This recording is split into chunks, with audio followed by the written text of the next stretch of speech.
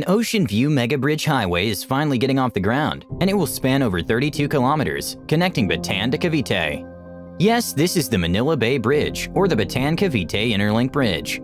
This ambitious project will finally ease the traffic going to northern Luzon, and the bridge highway provides a direct route from South Luzon to Central Luzon and vice versa.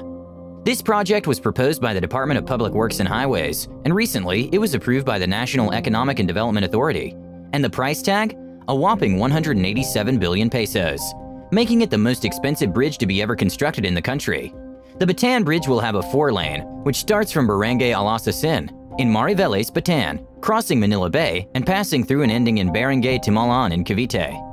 NEDA said that once the construction officially begins, it will include the construction of two navigation bridges, interchanges, land viaducts, turnaround facilities, special span bridge near Cavite Coast, a toll plaza and administration building, as well as the improvement of local existing junctions. The government said that the project will be funded through the Official Development Assistance. This project was first proposed by the former Representative Felicito Payumo in 1987, and it was a bridge crossing in Manila Bay, which he named the Trans-Manila Bay Crossing. In 2016, Payumo revived the proposal again, pitching the bridge as a means to decongest traffic in Metro Manila and boost the economy, Payumo has noted that commuters in Cavite and other parts of southern Luzon do not need to pass through Metro Manila to reach central Luzon if such a bridge would be built. Traveling from Cavite to Bataan and vice versa is without a doubt a tiring ride.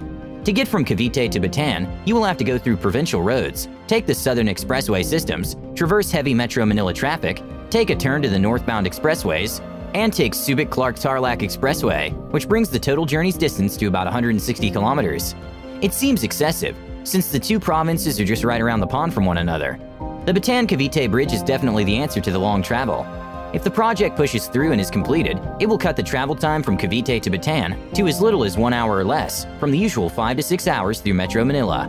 It will also help decongest the North Luzon Expressway, especially during the weekends and official holidays, due to the exodus of travelers going out and eventually back into Metro Manila. It is also noted that the Bataan-Cavite Bridge will be implemented over a period of six years.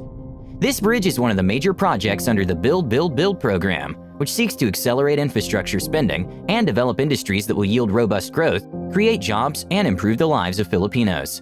According to Socioeconomic Planning Secretary Ernesto Impernia, the approval of these projects is a pivotal step in fulfilling the thrust of fostering growth centers in the regions and expanding access to development opportunities throughout the country. These are in line with the National Spatial Strategy to make cities like Metro Manila and to improve connectivity between areas. Anyway, what can you say about the Bataan-Cavite Bridge Highway? Is it the answer to a faster travel ride from Cavite to Bataan and vice versa?